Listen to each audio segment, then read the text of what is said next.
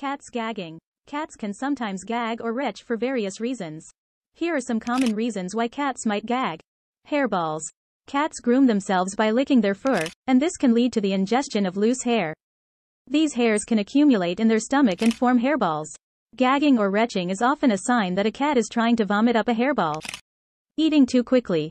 If a cat eats too quickly, they might not chew their food properly, leading to gagging or retching.